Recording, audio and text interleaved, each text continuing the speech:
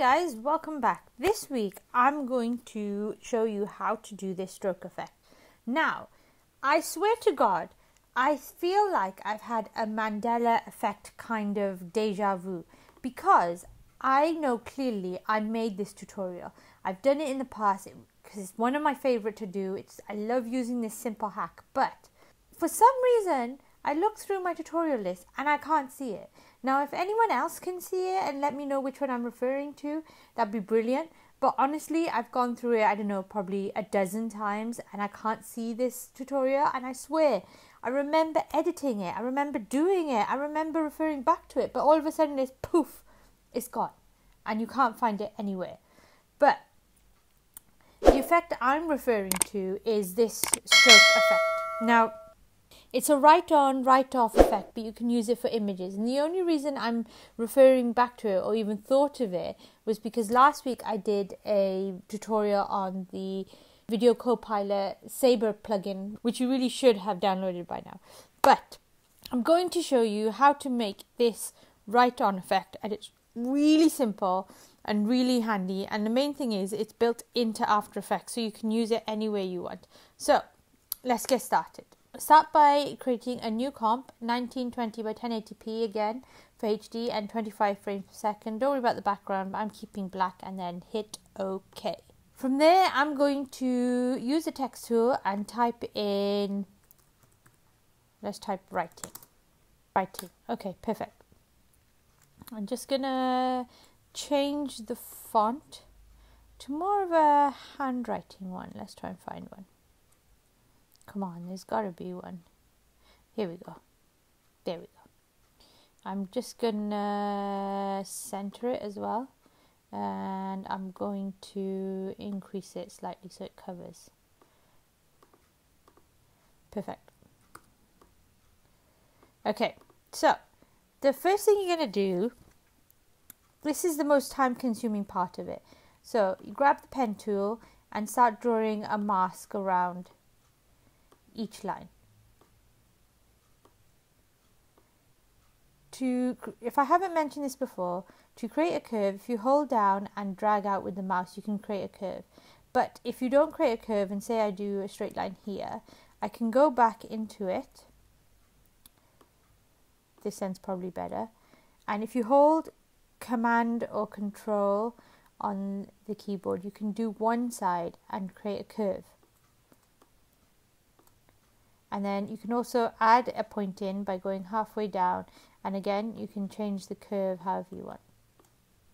It doesn't have to be precise. It just has to somewhat follow the shape of the text. So let's now that I've done the W as a mask I don't want it to connect to the letter R. So what the way around that I found is if you hit V on the keyboard or choose this selection tool here click off and that's your first mask done. And click off and that's your first mask done.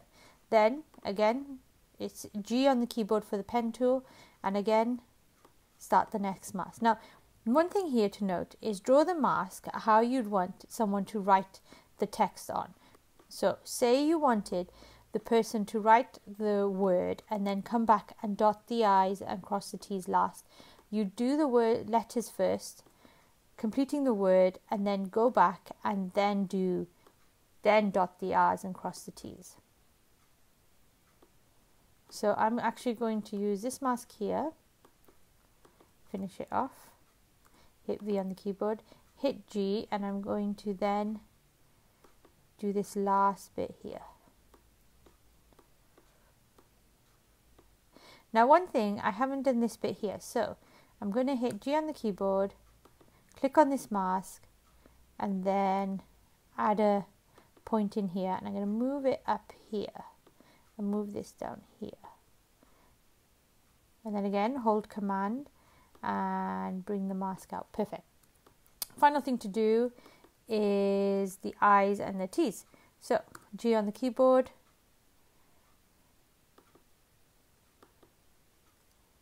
And dot the I's and cross the T's One. Perfect, let's zoom up. Now we have all that. In your mask settings, you can see it all set out, but we're not actually going to do anything here. So if I close that, in the effects and presets panel, type in stroke. See, I'm sure I did this tutorial. If anyone can remember watching this, please let me know because I feel like I'm just repeating myself. There's a lot of stuff here.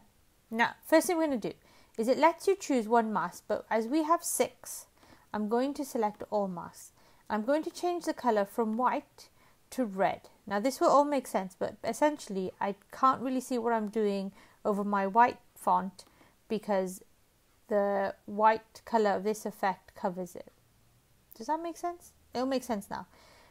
I'm going to increase the brush size here so it covers all the all the white text here. So I think 26. If I turn this mask toggle effect off, I can kind of see, it'll, it'll let me see the text properly. And yes, that's covered it. Perfect. Put it back on. Essentially, this is the effect you need to write on and write off text. Now that's really good, but it's revealing the image, but you can still see the red brush effect. Now to change this and get the effect that we actually want, if you go down to paint style and click on reveal original image, boom, it'll sh- disappear the brush effect, but the text is still there. Don't worry, don't worry, I got you. Make sure your playhead's right at the beginning. Click on the stopwatch for end and change 100 down to 0. Just like that, it's gone. If I take off the mask, there's nothing there. If we go to one second, maybe, yeah, one second's fine, and increase the 0 to 100%, you can see it automatically start writing in for you. Let me trim my comp size. So perfect. So if I hit play how easy is that? Now there's one thing I just want to do. If you click on the text effect and hit U on the keyboard um, it'll bring up the keyframes for you if you highlight the keyframes right click go to keyframing assistant and easy ease Essentially, it just makes the writing look more smoother. And hit play.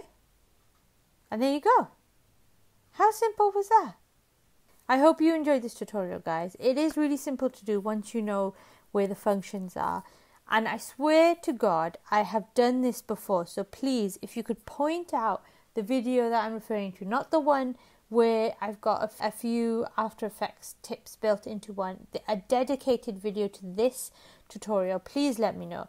I have done it, I swear. I kind of just made it up that I've done this video. So please, if you could help me out, that would be awesome.